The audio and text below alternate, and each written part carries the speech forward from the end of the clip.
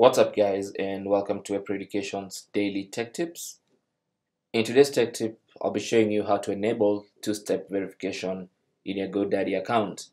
Now, your GoDaddy account holds very valuable assets, that is your domains, your websites, all these things are your online real estate and they require utmost protection.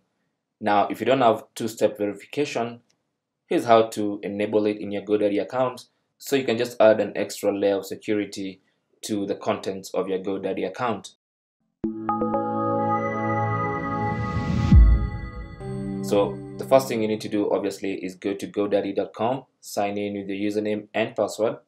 And once you do that, click on your name in the upper right side and select account settings.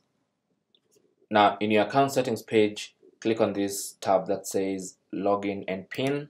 Click on that and that will take you to your login and pin page in your account settings page. And there you want to scroll down until you see two-step verification. Now there's an easier way to get to this page and all you need to do is go to godaddy.com stroke security. Every single time it's going to land you on this page. Now in the two-step verification tab since I don't have two-step verification in my account click on add verification and this automatically gives you three options. Now the first option is an authenticator app and this basically lets you install an app on your Android or iOS device and you'll be using that app to verify logins into your GoDaddy account. Now the main advantage of using this app and the reason why it's recommended is because you can use the app wherever you are in the world. So if you're a person who travels in different countries, you can always use Wi-Fi and access the app on your phone and authorize logins into your GoDaddy account.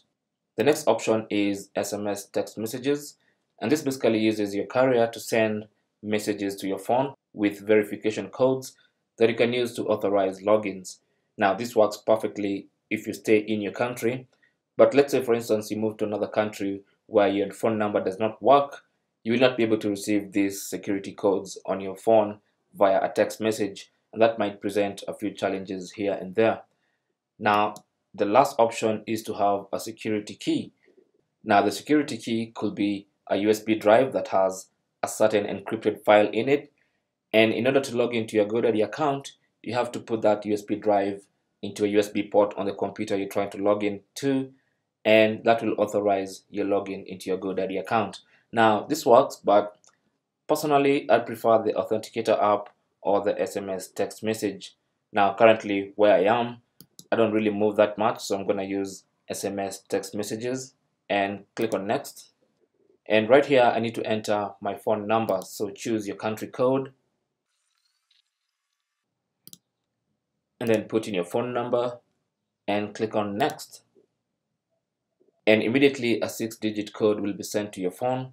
So you need to enter that six digit code right here. So go to your phone find that six digit code enter the six digit code and click on next. And there you go. So it says you have successfully uh, enabled two-step verification. And GoDaddy will also send you an email to tell you the same that you have set up two-step verification. And now anytime you need to log into your account a code will be sent to your phone that you can now use to authorize every login. Now you can go back and edit this if you want.